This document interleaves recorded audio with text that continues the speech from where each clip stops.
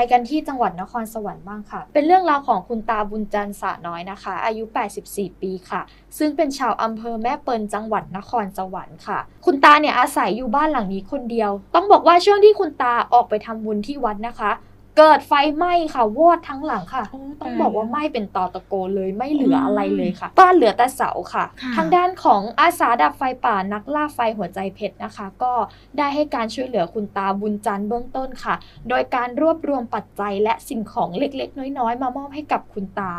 คุณตาเนี่ยถึงกับน้ำตาคลอแล้วก็ขอบคุณทุกท่านนะคะ ที่ให้การช่วยเหลือในครั้งนี้ คุณตาบอกด้วยว่าทั้งตัวเนี่ยเหลือเงินแค่ 20 บาทเพราะมันไหม้ไปหมดแล้วใช่เนาะแล้วก็หลาย ๆ คนก็เป็นห่วงนะคะค่ะอ่าทางอำเภอแม่เปิลเนี่ยก็กำลังประเมินให้ความช่วยเหลือคุณตาจันแล้วค่ะ ก็คนแก่อาศัยอยู่คนเดียวอืมอย่างน้อยก็โชคดีแล้วกันที่คุณตาไม่เป็นอะไรเลย ใช่ดีนะ ตอนที่เกิดเหตุไฟไหม้เนี่ยคุณตาไม่ได้อยู่ในบ้านใช่ค่ะน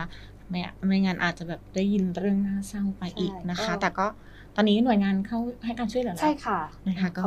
ดีใจด้วย ขอบคุณที่มาจากนายผัดไทยรักป่านะคะ